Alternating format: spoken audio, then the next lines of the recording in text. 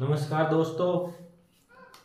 आज अपन पढ़ने वाले हैं एलसीएम और एचसीएफ के बारे में। आज अपन पढ़ने वाले हैं एलसीएम और एचसीएफ के बारे में। लघुतम समावर्तक और क्या है इधर महत्तम समावर्तक। इनके बारे में अपन चर्चा करने वाले हैं। जो अपन ने सीरीज़ चला रखी थी, इससे पहले ये पढ़ना बहुत ज़रूरी है। ये पढ़ते आपको जो आगे क्वेश्चन है, वो इनसे संबंधित है। ये पढ़ो, उसके बाद में आगे जो क्वेश्चन है वो फटाफट हो जाएँगे। इससे अपना टाइम भी बचेगा और आपके जो समझने में काफ़ी सहायता प्रदान होगी इससे। तो अपन बात करते हैं, एलसीएम क्या होता है? एलसीएम होता है क्या है? लघुतम समावर्ती क्या होता है? जिसको अपन लहसा भी बोलते हैं। लहसा होता है क्या है? देखो, आपको सिंपल भाषा में बताऊँ, अपने को कोई संख्या दे रखी है। जैसे दो, तीन, कुछ भी संख्या दे रखी है तो अपन क्या करेंगे, वह छोटी से छोटी संख्या देखेंगे, जिसमें उन तीनों संख्याओं का भाग चला जाए, पूरा पूरा भाग चला जाए। क्या करेंगे, जैसे अपने को दो या तीन जितनी भी संख्या दे रखी है, चार, पाँच, कितनी भी तो उनमें क्या करेंगे, एक ऐसी संख्या देखेंगे, जिसमें उन तीनों संख्याओं का भाग चला जाए। और वो संख्या कैसी होनी चाहिए, छोटी से छोटी संख्या होनी चाहिए। ठीक है? तो ये मैंने लिखा है। कि वह छोटी से छोटी संख्या, जो दी गई संख्याओं के सभी संख्याओं से पूर्णतः विभाजित हो जाए। वह छोटी से छोटी संख्या, जो दी गई है, अपने को दी गई है, एलसीएम निकालने के लिए, उन संख्याओं से विभाजित हो जाए। और संख्या कैसी होनी चाहिए? छोटी से छोटी होनी चाहिए। वैसी तो बड़ी, उससे बड़ी खूब हो जाएँगी, लेकिन अपने को चाहिए ध्यान क्या रखना? छोटी से छोटी होनी चाहिए। जैसे अपने को तीन तीन संख्या दे रखी है दो, चार छ तो इसका एल्शियम ज्ञात करने के लिए क्या करेंगे? ऐसी छोटी से छोटी संख्या देखेंगे जिसमें इसका इसका और इसका भाग चला जाए। दो का, चार का और छह का भाग चला जाए। ऐसी छोटी से छोटी संख्या अपने देखेंगे। तो ऐसी छोटी से छोटी संख्या क्या हो जाएगी? बारह हो जाएगी। बारह में दो का भाग जा रहा है, चार का जा रहा है और छह का जा रहा है। ठीक है? तो ये मैंने लिखा है, वह छोटी से छोटी संख्या, जो दी गई संख्या से पूर्णतः विभाजित हो जाए। ठीक है? अब जैसे मैंने एग्जांपल लिया छह बारह अठारह का एलसीएम क्या होगा? ये निकालना होता है एलसीएम तो मैंने बता दिया, इनका एलसीएम हो जाएगा छत्तीस। छत्तीस क्या, देखो, छत्तीस के अंदर छह का भाग जा रहा है, बारह का भाग जा रहा है और अठारह का भाग जा रहा है। ठीक है? तो ये देखो, छत्तीस से कोई ऐसी और छोटी संख्या है क्या? जिसमें इन तीनों का भाग चला जाए। छत्तीस से कोई और छोटी संख्या है क्या आपकी निगह में मेरे को बताओ, देखिए, उसमें छह का और बारह का, अठारह का भाग चला जाए। छत्तीस से छोटी।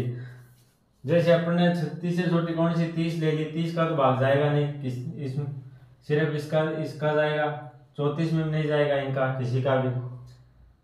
चौबीस ले ली, चौबीस में इसका जाएगा, इसका नहीं जाएगा। और भी जैसे अठारह से छोटे तो ले ही नहीं सकते अपन। तो क्या करेंगे? छत्तीस संख्या ले ली। अब छत्तीस आया कैसे? एलसीएम अपन ने छत्तीस से ज्ञात कैसे किया? इनका एल एलसीएम तो हो गया छत्तीस ये तो आपको समझाने के लिए मैंने बताया है कि छत्तीस क्या होगा एलसीएम हुआ छोटी से छोटी संख्या है, जिसमें छह का बारह का और अठारह का भाग है, पूर्णतः चला गया। लेकिन छत्तीस निकालेंगे कैसे? इस पर चर्चा करते हैं अपन। इसके लिए अपन क्या करेंगे?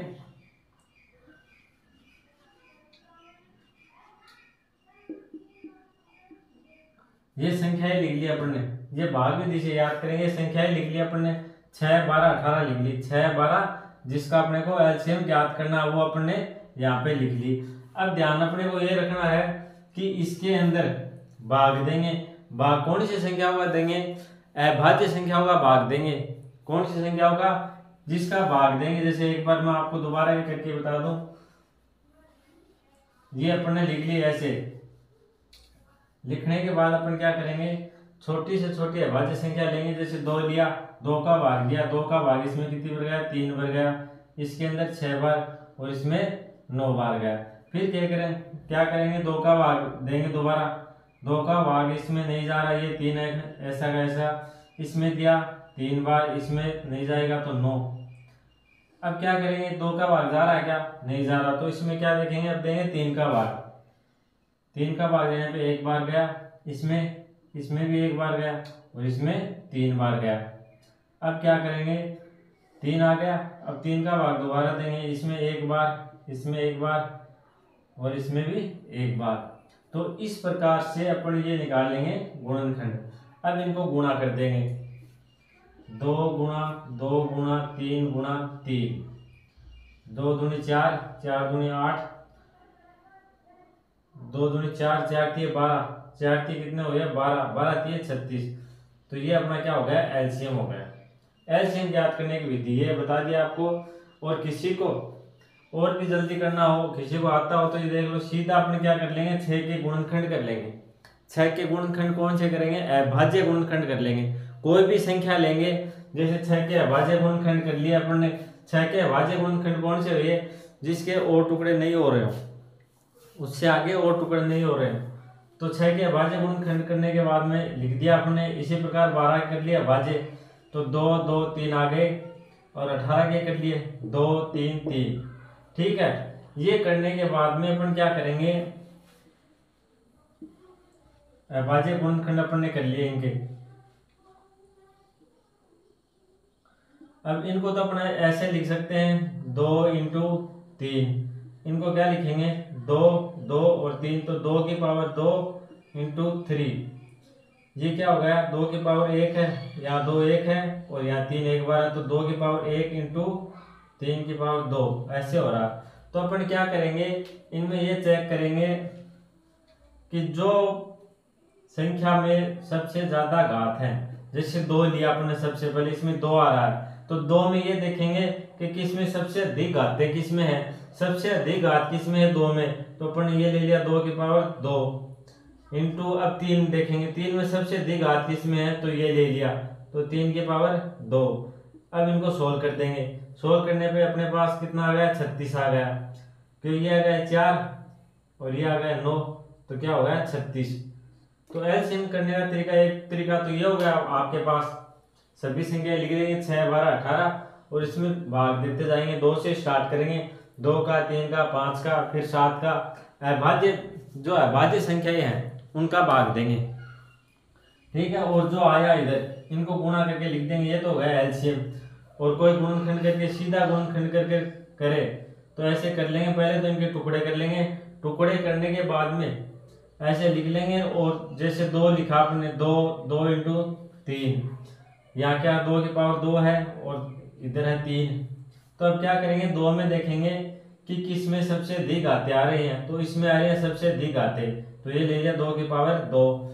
और तीन में देखेंगे सबसे अधिक आते किसमें आ रही हैं? सबसे अधिक आते आ रहे तीन की पावर दो। तो ये ले लिया अपन। इनको सोल्व कर दिया। तो ये अपना जाएगा एलसीएम एलसीएम आ गया। अब एचसीएफ की बात करते हैं। मैथन। मैथन समावर्तक की बात करते हैं। इसको मैसे भी बोलते हैं। इसको शॉर्ट में क्या बोलते हैं? मैसे तो इसमें क्या करेंगे? वह बड़ी से बड़ी संख्या जो दी गई सभी संख्याओं को विभाजित करे। ठीक है? इसका अर्थ क्या हुआ? देखो, इसमें तो क्या बताया है? वह छोटी से छोटी संख्या, जो दी गई सभी संख्याओं से पूर्ण से पूर्णतः विभाजित हो। इसमें तो क्या है? जो संख्या दी है, तीन संख्या अपने जैसे दी है तो अपने ऐसी छोटी से छोटी संख्या देखेंगे, जिसमें तीनों का भाग चला जाए, तीनों का भाग चला जाए। और संख्या कैसी होनी चाहिए? छोटी से छोटी। और इसमें क्या करेंगे? जैसे अपने को तीन संख्याएँ दे रखी है। तीन संख्याएँ दे रखी हैं तो एक ऐसी संख्या देखेंगे, इन तीनों में उसका भाग चला जाए। और संख्या कौन सी होनी चाहिए? बड़ी से बड़ी। बड़ी से बड़ी होनी चाहिए वो संख्या। ऐसी संख्या देखेंगे जिसका इन तीनों में भाग चला जाए। ये मैंने लिख रखा, वह बड़ी से बड़ी संख्या जो दी गई सभी संख्याओं को विभाजित करे। वह बड़ी से बड़ी संख्या जो दी गई, ये दी गई है, इन संख्याओं को विभाजित करे। तो बड़ी से बड़ी संख्या देखेंगे। जैसे इसमें एच सी एफ़ इसका हो गया छह। छह का भाग इसमें छह में जा रहा है, बारह में जा रहा है और छत्तीस अठारह में जा रहा है। अब इसको करने का तरीका है, देख लो अलग अलग कर लेंगे इनका भाग भी दिशे इधर लिखा मैंने छह, मैं करके दोबारा करता हूँ इनको। एक बार बता देता हूँ आपको दोबारा करके।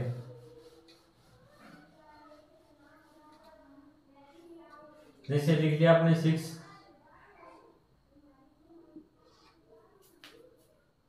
इधर ट्वेल्व है ये तीनों लिख लिया अपन ने। अब क्या करेंगे? इसके अंदर दो का भाग देंगे तो कितनी बार जा रहा? तीन बार जा रहा। तीन में दिया, एक आया। अब क्या करेंगे? बारह में देंगे दो का भाग। दो का भाग देने पे आ गया सिक्स आ गया। सिक्स में दिया दो का भाग। तो थ्री आ गया। थ्री के अंदर दिया थ्री का एक बार ठीक है, आगे चलते हैं, अठारह में। अठारह में दो का दिया, नौ आ गया। नौ में नौ के अंदर तीन का भाग दिया तो तीन आ गया, तीन में दिया, तीन का एक आ गया।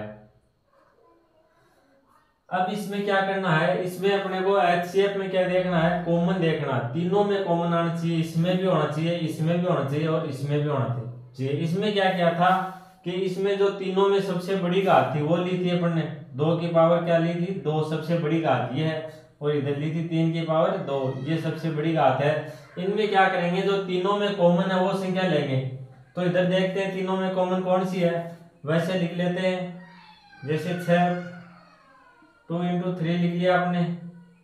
बारह के, बारह का लिख दिया आपने। Two into two into three और अठारह का लिख लिया आपने। Two into three into three अब क्या करेंगे? एच सी एफ़ में करना अपने भैया ये होता है जो इसमें कॉमन होती है। जैसे दो है, दो इसमें आ रहा है, दो इसमें आ रहा है, दो इसमें आ रहा है। तो एक तो ले लेंगे, अपन दो ले लेंगे।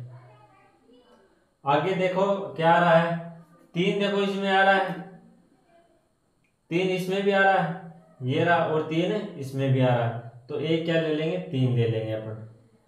एक अपन ने तीन ले लिया। और कोई आ रहा है तीनों में? नहीं आ रहा। तो अब क्या करेंगे? इनको सोल्व कर देंगे। सोल्व करने पे आ जाएगा टू इंटू थ्री बराबर कितने हो गए? सिक्स ये अपना क्या हो गया? एच सी एफ़ हो गया। बात समझ में आई होगी? दोनों मैंने साथ इसलिए लिखे हैं ताकि आप इनको अलग अलग समझ सको। ठीक है?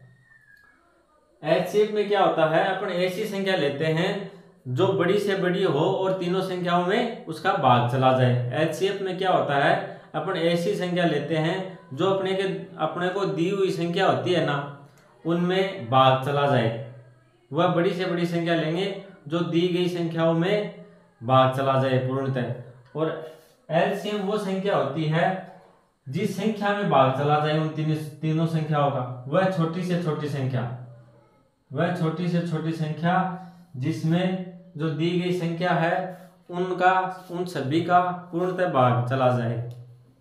ठीक है, ये हो गया अपना एलसीएम और ये हो गया एचसीएफ अब आगे बढ़ते हैं, इनके बारे में थोड़ा और डिटेल से चर्चा करते हैं, कैसे क्या होता है, देखो।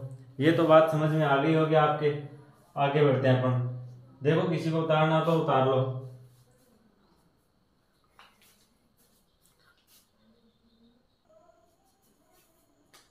देखो आगे बात करते हैं अपने। ये मैंने कुछ बातें लिखी हैं। इसमें मैंने क्या बताया है कि जो अपने को ये संख्या दी हुई है, जिस, जिनका एल्शियम निकालना है तो इसमें एक शर्त होती है कि जो संख्या बड़ी से बड़ी दी है, बड़ी से बड़ी संख्या कौन सी है? अठारह। तो एल्शियम कभी भी अठारह से कम नहीं आएगा। शर्त क्या है? अपने को जो संख्याएँ दी हुई है एल्शियम के लिए जैसे तीन एक चार जो भी संख्याएँ दी हुई है, उसमें क्या होता है? जो बड़ी से बड़ी संख्या होती है, उससे कम कभी भी एलसीएम नहीं आएगा। क्यों नहीं आएगा? क्योंकि जो बड़ी से बड़ी संख्या है, जैसे इसमें अठारह दे रखी है, अठारह है तो अठारह से छोटी कैसे आएगी? उसमें अठारह का भाग जाएगा ही नहीं। समझ में आई बात? अठारह से छोटी क्यों नहीं आ सकती? क्योंकि उसमें अठारह का भाग जाना चाहिए। इसकी शर्त क्या होती है एलसीएम की? कि वह छोटी से छोटी संख्या, जिसमें इन तीनों संख्याओं का भाग जाना चाहिए। तो अगर अपन 18 से छोटी ले लेंगे कोई भी एल्शियम तो क्या अठारह भाग जाएगा क्या? नहीं जाएगा ना। तो यही मैंने लिखा है, दी गई संख्याओं में जो संख्या सबसे बड़ी है, उससे कम से कम, उससे कम कभी भी एलसीएम का मान नहीं होगा। उससे कम कभी भी एलसीएम का मान नहीं होगा। ये बात याद करने की ज़रूरी है, जैसे आपको ऑप्शन में दे दे। कि इनका एल्शियम कौन सा है? जैसे दे दे आपको नौ, बारह, सोलह, अठारह, छत्तीस दे दे, जैसे ऐसे दे दिया आपको। तो आप क्या करोगे? सीधा सीधा ऑप्शन क्या मारोगे? छत्तीस क्यों? अठारह से छोटा तो ऑप्शन हो ही नहीं सकता। जैसे ये दे दे आपको संख्या, आपको दोबारा बताऊँ कि ये संख्याएँ हैं। ये तो आपको समझ में आ गई होगी, या फिर दोबारा देख लो, फिर मैं इसको मिटा के आपको क्वेश्चन कराऊँगा कि दी गई संख्या में जो संख्या सबसे बड़ी है, दी गई संख्या में सबसे बड़ी संख्या कौन सी अठारह। तो अठारह से कम कभी भी एलसीएम का मान नहीं आएगा। मैंने ये बताया है कि जो संख्याएँ दी हुई है, उसमें जो सबसे बड़ी संख्या, उससे छोटा मान कभी भी नहीं आएगा एलसीएम। हाँ अठारह उस बड़ी संख्या के बराबर आ सकता है, लेकिन उससे कम कभी नहीं आएगा। ये याद रखो आप ये याद रखने की ज़रूरी है, जैसे आपको ये संख्या दे दे। छ बारह और अठारह में, अठारह का एलसीएम होगा। आपको ऑप्शन दे दे, जैसे नौ दे दे, बारह दे दे, सोलह दे दे और छत्तीस दे दे। तो आपको देखना है कि अठारह से छोटी तो आ ही नहीं सकती तो इन, इनको कर दिया क्या? कैंसिल और ये अपना आंसर हो जाएगा। ठीक है? ये मैंने बताया है। इसी प्रकार से आपको एच शेप में और बता रहा हूँ कि जो संख्याएँ दी गई है अपने पास। जो संख्या अपने पास है। अपने को दी हुई है छह, बारह, अठारह। तो इसमें क्या है? जो सबसे छोटी संख्या छह है तो उससे अधिक कभी भी एच शेप का मान नहीं होगा। इससे अधिक कभी भी एच शेप का मान नहीं होगा। देखो, इसमें तो क्या है? छह से छोटा नहीं होगा मान। छह से छोटा क्यों नहीं होगा? कि छह से छोटा हो तो छह छह में भाग कैसे जाएगा। एचसीएफ में ऐसी संख्या लेते हैं, बड़ी से बड़ी, जिसका इन तीनों में भाग चला जाए। बड़ी से बड़ी संख्या लेंगे, कौन सी एच में? जो जिसका इन तीनों में भाग चला जाए। और एल में लेंगे, छोटी से छोटी संख्या, जिसका इन तीनों का भाग चला जाए। तो इसमें क्या, जो छोटी से छोटी संख्या एचसीएफ में, उससे बड़े कभी भी एचसीएफ का मान उससे बड़ा नहीं आएगा। एचसीएफ का मान जो छोटी छोटी संख्या उससे बड़ा नहीं आएगा। इसमें भी जैसे आपको क्वेश्चन पूछ ले, ये तो लिख लो आप, लिखो तो वीडियो पॉज करके लिख लेना। इसमें आपको समझा देता हूँ क्वेश्चन कैसे आते हैं। क्वेश्चन जैसे यही मैं लिख देता हूँ आपको। छ, बारह, अठारह में एचसीएफ का मान होगा। छ लिख दे ए छ बी लिख दे, सात। सी, आठ। और डी लिख दे, नौ। तो आपको देखने की ज़रूरत है ही नहीं। सीधा टिक करो, सिक्स। क्योंकि सिक्स से बड़ा तो होगा ही नहीं। सिक्स से बड़ा नहीं होगा। ये सब क्या है? छोटी छोटी संख्या सिक्स है। तो एस सेप का मान कभी भी सिक्स से बड़ा नहीं होगा। ये क्या हो जाएँगे? सिक्स से बड़े हैं। तो ये कैंसिल हो जाएँगे। सीधा क्वेश्चन हो जाएगा आपसे।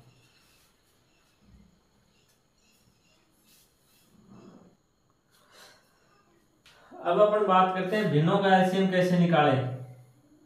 अगर कोई अपने पास भिन्न संख्या जैसे एक बटा दो, एक बटा तीन, इनका एलसीएम कैसे निकाले? भिन्नों की बात करते हैं। तो इसमें क्या होता है? जो भिन्न दी हुई है, उनके अंश का क्या लेते हैं? एलसीएम ले लेते हैं। और जो हर होता है, उसका क्या लेते हैं? एचसीएफ ले लेते हैं। भिन्नों का एलसीएम निकालने के लिए अपन क्या करते हैं? अंश का तो एलसीएम ले लेंगे, और जो हर है, उसका क्या ले लेंगे? एचसीएफ वो क्या हो जाएगा अपना? भिन्नों का एलसीएम देखो ये संख्या है, दो बटे तीन, चार बटे पाँच और एक बटे छ इनका एलसीएम कितना हो जाएगा? तो अपन क्या करेंगे? जो अंश है, दो, चार, एक, ये क्या है? अंश है। इनका क्या लेंगे? एलसीएम एलसीएम कौन कैसे लिया? एलसीएम इन तीनों संख्याओं का, जिसमें वह छोटी से छोटी संख्या, जिसमें इन तीनों संख्याओं का भाग चला जाए। तो वो छोटी छोटी संख्या हो गई चार। चार में चार का भाग जा रहा, दो का जा रहा, एक का जा रहा। है तो एलसीएम हो गया चार हो गया।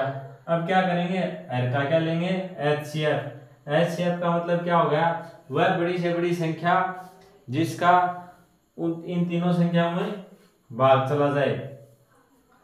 तो अपन देखेंगे, तीन का भाग जा रहा क्या? तीन से बड़ी तो हो ही नहीं सकती। इसमें अपने अपन ने पढ़ा था कि जो संख्याएँ दी हुई होती हैं, उसमें जो छोटी से छोटी संख्या है उससे बड़ा एचसीएफ नहीं हो सकता तो तीन से बड़ा तो हो ही नहीं सकता। तीन का भाग लेके देखेंगे, तीन का पाँच में नहीं जा रहा, इसमें छः में जा रहा, पाँच में नहीं जा रहा तो यहीं छोड़ देंगे। फिर इससे छोटी देखेंगे दो दो का इसमें नहीं जा रहा, छोड़ देंगे। तो फिर इससे छोटी एक एक का तीनों में जा रहा तो एच सी एफ़ का मान कितना हो गया? एक। तो इससे सिद्ध होता है कि एच सी एफ़ का मान एक भी आ सकता है। एच सी एफ़ का मान एक भी आ सकता है। इसी प्रकार अपन देखेंगे भिन्नों का एच सी एफ़ क्या देखेंगे? भिन्नों का एच सी एफ़ तो अपन क्या करेंगे? का एच सी एफ़ कर देंगे। एच सी एफ़ की बात है तो अंश का क्या कर देंगे? एच सी एफ़ और इधर बात थी एल सी एम की तो अंश का क्या कर देंगे? एल सी एम ठीक है? जो पूछा वो ऊपर आ जाएगा। और एल का क्या कर देंगे? एल सी एम एल का क्या कर देंगे? एल सी एम तो का एच सी एफ़ देखो। इनका एच सी एफ़ कितना हो जाएगा? ऊपर कितने हैं? दो है, चार है, एक है। तो ये आ गई अपने पास। सबसे छोटी संख्या इन तीनों में एच सी एफ़ में। सबसे छोटी संख्या क्या है? वन है। तो वन से ऊपर तो एच सी एफ़ हो ही नहीं सकता। तो वन हो जाएगा H C F H C F क्या हो गया? वन हो गया। और नीचे देखेंगे L C M L C M तीन है, पाँच है और छः है। तो या तो करके देख लेंगे। तीन का तो क्या आ गया? तीन आ गया। पाँच का कितना आ गया? पाँच आ गया। और छः का कितना आ गया? दो बटे तीन। तो अपन क्या क्या लिखेंगे? अपन ने लिख दिया तीन, नीचे वाले से पाँच ले लिया, इसमें ये तीन पहले ऊपर ले लिया, सबसे बड़ी घात तीन की एक है तो एक ले ली, पाँच की भी सबसे बड़ी घात एक है तो एक ले ली, और दो की सबसे बड़ी घात क्या? है दो। तो अपन ने दो ले ली, पाँच तीन पंद्रह दो तीस तो ये अपना क्या हो गया? एल सी एम तीस क्या हो गया? एल सी एम तो एक बटा तीस क्या हो गया? इन भिन्नों का क्या हो गया? एफ़ हो गया। और एल सी एम कितना हो गया? एक बटा चार। समझ में आया होगा?